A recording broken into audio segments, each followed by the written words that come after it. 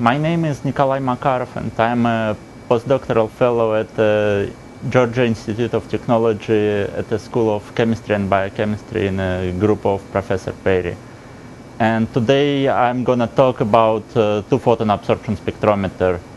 Two-photon absorption spectroscopy is a kind of uh, additional part of spectroscopy to steady-state spectroscopy, which allows sometimes to test uh, states uh, not accessible by one-photon spectroscopy and it allows to know important properties of materials which can be used in many applications such as 3D uh, nanofabrication, 3D optical memory, and uh, fluorescent microscopy. And uh, in particular, we, one of the biggest uh, things which might be interesting for people is uh, to find what is the best wavelength for application and uh, what is the best material to choose between many.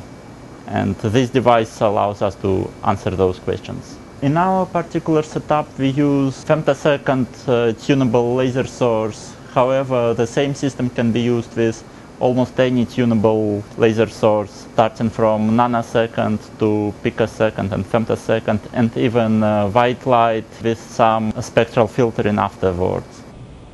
So the light comes from the mirror behind this wall, then comes from the neutral density filter, comes from a set of neutral density filters mounted in the wheel, portion of the light gets reflected from the beam sampler and goes into reference channel. The rest of the light goes through the uh, shutter, through the filter holder, gets into the mirror and gets reflected into pinhole and then enters into device. After entering the black box, the beam goes through the lens and gets focused in the middle of two sample holders. One of them is for sample for known sample and one of them is for reference. The beam gets then passed through the second pinhole and gets dumped somewhere. So you can see fluorescence coming out of the light uh, excited by, and fluorescence is green and the excitation is red, which means there are two photons being absorbed to excite this fluorescence. Uh, fluorescence collected from the samples uh, gets through the fil- through the set of filters uh, which uh, cuts uh, which cut residual laser light and then gets collected through the fiber optics into further spectrometer. Uh, fluorescence uh, get, goes through the monochromator into liquid nitrogen cooled CCD and that is the device which allows us to see spectrum of fluorescence collected in the black box. Also down here we can see second monochromator which uh, gets the reference beam and then the spectrum of the beam is detected with the with this sandwich detector. This allows us to see real wavelengths of the excitation beam and also amplitude of it. In principle, to get accurate uh, two-photon absorption spectrum, uh, one needs to get a really well-characterized laser beam. You need to know pulse duration and uh, beam spatial profile at each wavelength, uh, which is pretty hard to measure over the broad range of wavelengths. To avoid this characterization, we use a referential technique when we use two channels, one containing sample with a known spectrum and one containing sample with unknown spectrum. Uh, both samples are being excited with the same laser light at the same time. The, the signal collected is proportional to pulse duration and to uh, beam profile. And then uh, we get both of them. We can normalize the spectrum, the measured spectrum of one of them by the known spectrum of the same one, and then get out the information about uh, beam properties, and therefore avoid characterization of the beam. Currently, the channel 2 is used for reference sample, so this is the known compound, it's coumarin 485, and this is another coumarin dye, and both are dissolved in methanol. So you can see the screen which shows LabVIEW software designed to control the whole experiment. Over here we can enter some parameters uh, like start wavelengths for scan, stop wavelengths for scan, uh, step with which wavelengths are scanned, uh, exposure time for each wavelength, number of uh, repeats for each measurement, and the maximum of fluorescence uh, which is going to be measured. Here we specifically indicate which channels contains reference and which channels contains sample. And here we show which uh, reference compound is used. Over here it shows the current wavelength at which uh, laser is sitting. And then there are some buttons allowing us to activate or disable shutter during measurements, to determine wavelengths at each step or disable this determination and to actively control power of the excitation laser or skip that part. Those two graphs show fluorescence spectra of compounds sitting in channel 1 and channel 2. This graph over here shows us uh, actual image of the CCD binned together such that this is uh, everything what is getting out of channel 1 and this is everything getting out of channel 2. And finally, this graph over here shows us the real spectrum measured uh, during this experiment. So when we start program, first the shutter is being opened and then the laser is going to be scanned from green towards red wavelengths.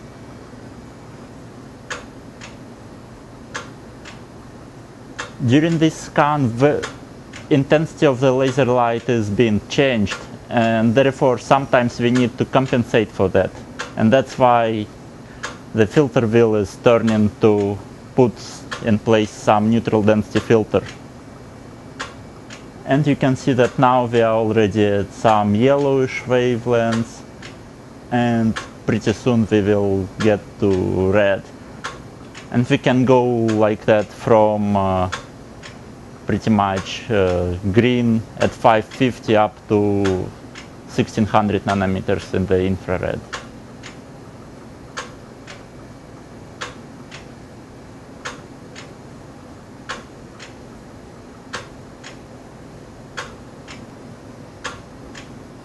When the scan is done, the shutter closes and eventually the filter wheel will go back to its original position. Now we are going to run this. So first it opens the shutter and then it goes to specific wavelengths uh, of monochromator to have those wavelengths.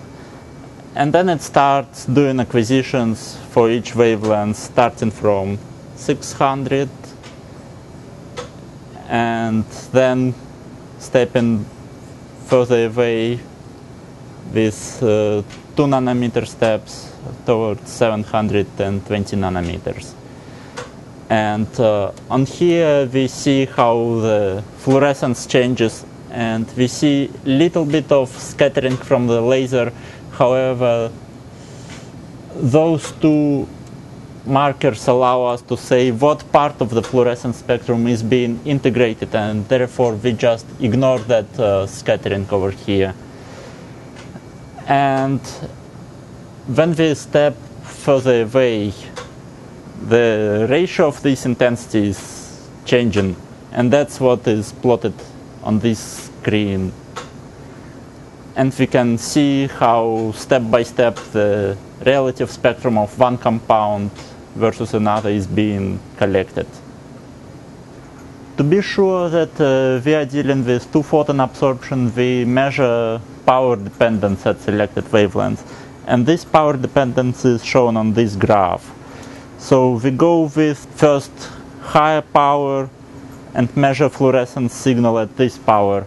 And then the filter wheel turns slightly and the second point is being measured at lower power and so on for about eight different points. And uh, we can see that uh, those are kind of quadratic dependencies of the fluorescence intensity versus power, which says that it is a two photon absorption. So after we measure all parts of the spectra with our spectrometer. We go to origin and import data into it, and then we plot two photon absorption spectrum versus the laser wavelengths. And we also put on the same plot one photon absorption of this molecule versus its transition wavelength. So the units for two photon absorption here is the Goeppert-Mayer. That's uh, the unit uh, called by the name of the person who uh, initially predicted two photon absorption process.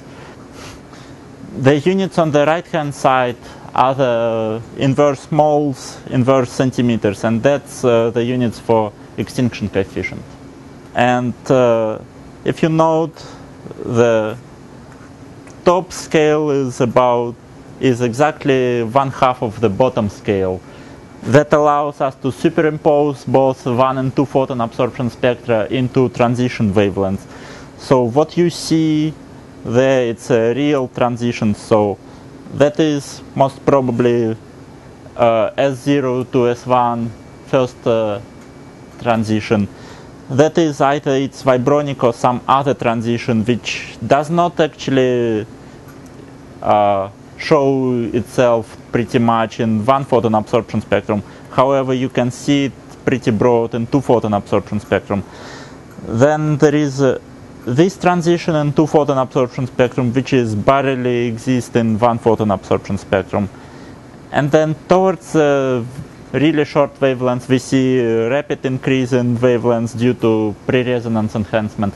And at even shorter wavelengths, the two photon absorption spectrum becomes non-quadratic and that is an indication that it's also already not just two photon absorption but a mixture of uh, single photon and two photon absorption.